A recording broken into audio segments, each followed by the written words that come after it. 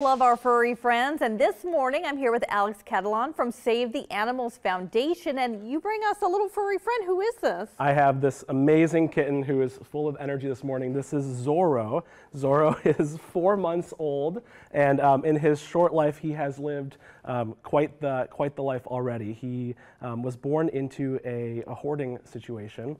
And we rescued him at about um, 10 weeks old. Um, and when we rescued him, we found that he had an enlarged heart. Um, and he had a condition called PDA, which um, means that there was basically an opening uh, between two of his major um, heart valves. Um, and so he needed to have heart surgery at 10 weeks old. and he was amazing. And he just got his completely clean bill of health. He is in great shape to be adopted, and he is going to be up for adoption very soon. Um, and he is just an amazing cat. Again, he has lots of energy. He's ridiculously cute. Um, he loves belly rubs. Um, he loves to play.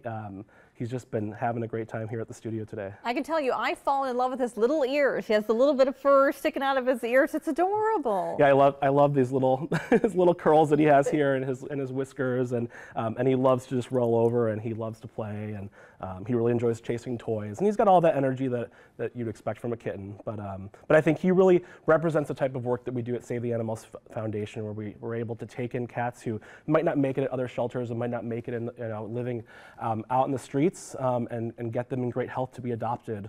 Um, and, and he is one of those um, you know, shining star examples. He seems to have a great personality, though. He's young, he's curious, which is what you want to see, but he seems pretty calm. I mean, there's a lot going on in here, and he's pretty calm with all of it. He's done really well with the, with the trip over here, and I think part of it's that he's, he's been through so much. So he's been exposed to lots of different types of people. He, you know, he grew up with a really large population of cats, unfortunately. So um, he's just been through a lot, and he's, he's just quite the, uh, quite the brave guy. Um, and, and he is just going to be an amazing cat for someone to adopt. And he's, he's asking for those belly rubs that I mentioned um, before. He, he, this cat loves attention.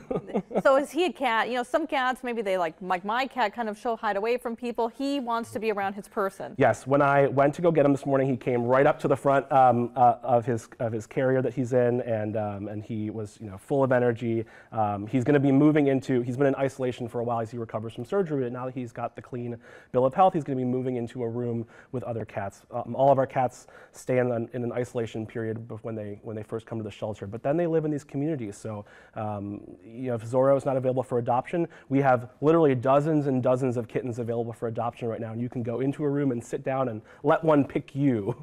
and one thing I love to see as a cat owner, lastly, is that, you know, he has the harness, he has the leash, he seems accustomed to that. It makes things like going to the vet a lot easier. Yeah, he, he's very well grade trained. He's very well behaved. Again, he's made lots of trips to the vet already, but, but I can't say enough that he got the clean bill of health from the, from the cardiologists, and, um, and we're just so excited for him to find that forever home. So if people are looking to adopt him, how can they go about doing that? We do adoptions by appointment only. Um, we, we have about 50 cats or 50 dogs anytime and about 250 cats available for adoption. So STAF or SaveTheAnimalsFoundation.org is our website. You can apply on there and set up an appointment and then someone will guide you through the shelter to help you find the best match for, the, for you. Well, if you want to learn more, check out our website at fox19.com. Thank you so much for joining us, Thanks Alex. for having us. And we'll be right back.